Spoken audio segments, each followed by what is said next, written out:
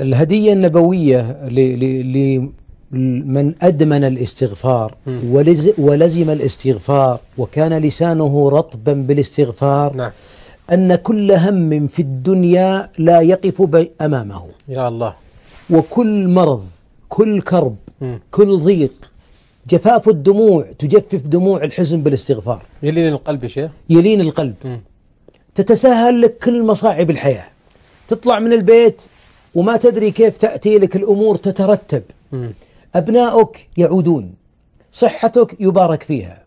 كل باب مغلق ينكسر قفله. أحبابي يقول صلى الله عليه وسلم من لزم الاستغفار جعل الله له من كل هم فرجا. نعم. ومن كل ضيق مخرجا. ومن كل بلاء عافية. وفي رواية ورزق من غير ما يحتسب. نعم.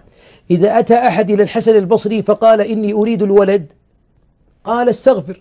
آخر يريد التجارة. استغفر. لما أحبابي؟ لأن كلمة استغفار معناها أنك تحقق العبودية للملك الغفار جل وعلا.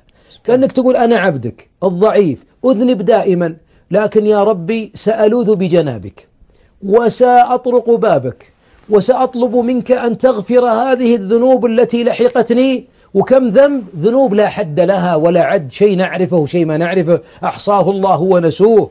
ولذلك دائما إذا فتح الله على لسانك أستغفر الله أستغفر الله أستغفر الله فتأكد أيها المؤمن أن الله إذا فتح لك باب أستغفر الله أنه سيغفر سيفرج سيعطيك سيعطيك حتى والله عقلك يأتيه دهشة. الله. الله إذا أعطى أدهش العقول.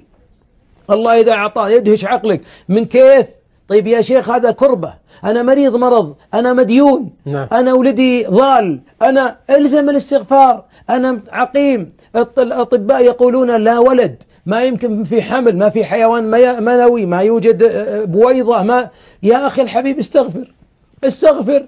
هذا العظيم الذي أمرك أن تستغفر وعدك أن يفرج كربك. الله أكبر. فيا معاشر الأحباب الله الكريم الغنى بوابته الاستغفار العافية بوابتها الاستغفار الاكتئاب ذهابه بوابتها الاستغفار الحزن خروجه من القلب بوابته الاستغفار الله. انشراح الصدر بوابته الاستغفار صلاح الذرية بوابته الاستغفار استغفار اللسان مع القلب وليس تحريك اللسان فقط. لا تنسوا الإعجاب بالفيديو والاشتراك في القناة. تشجيعا لنا لنستمر بنشر المزيد إن شاء الله.